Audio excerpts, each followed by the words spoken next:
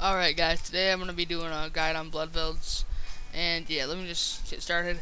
Here's the kind of gear you want to bring, um, either prayer or some strength gear like this. And then you're going to have guthans in the like to, to, to heal you. And then you're going to have own speeches if you're doing this method at my low level. And just some miscellaneous food. Um, I bring these just for main healing food because they're like two pieces of 11 heal, well 110 healing. Then this, like if I switch to Guthans and I'm trying to get my HP up with that without using this, and then Guthans fails me, I'll just eat one of these two things to heal in like a big bulk. So yeah, just follow my route to get there. It's in the Slayer Tower in Canifis. So if you you should already know what that's at, but if you don't, you know, just whatever. So just follow my route.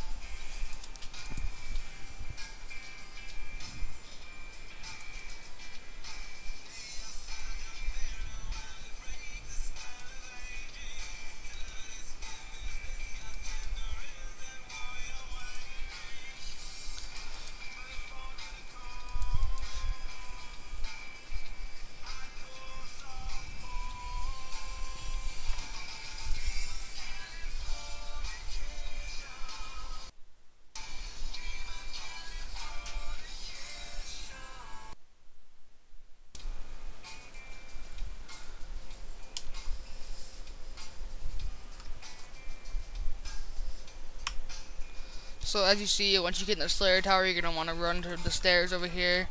If you have 61 agility, you can, oh my god, alright. If you have 61 agility, you can, um, there's a little, like, chain that hangs down around this area. Right there, and then you can just climb up that. But if you're to go up there, either have the Slayer helmet or a uh, nose peg in your bank, and you're not in your bank, but your inventory. Because, uh, that's right where Aberrant Spectres are. So, yeah, I don't have 61 agility, I only have 41. So I will not be using that. Um, I I now have 73 defense, cool. 59 Slayer, 24 summoning. Yeah, just that's pretty cool. I think I got 93 combat now. Trying to work on at least 40 uh, summoning for a bull ant because that's just a beast of burden, and I need something like that. Uh, after that, I kind of want to go straight to 68 or whatever for the bunyip, whatever that is, because a bunyip would be nice to have too. So yeah, I just walk through the very first part, and then once you get there, you just wanna, I just go up the stairs. I rest right here, and then that, not the Aberrant Spectres, but the uh, Blood Velds are over here. And I'm just gonna show you a little technique that I use once I get there. So yeah, once you have about 50 runs, you should be good. Now you just gotta mosquito, sorry. Fucking piece of shit mosquito. Sorry for the language there, I just can't stand mosquitoes. You just go this way, just keep coming over here. And I'm sorry if my voice is annoying. I know I, I sound kind of weird on the mic. I don't sound like that in real life, trust me. Like, I just don't. But yeah. Alright, and just attack the Bloodvelds. Now, they like rally me usually, so I'm not sure. I usually bring an SS, but I brought my Defender and Whip this time. Plus, I didn't bring D-Legs, I brought Chain Skirt, just save inventory space. But yeah, main idea is you're going to want to, uh, just, once you get your HP down, down, I think below, I usually go to like 400. I switch out to Guthans like that, you know. I can't yet, but here.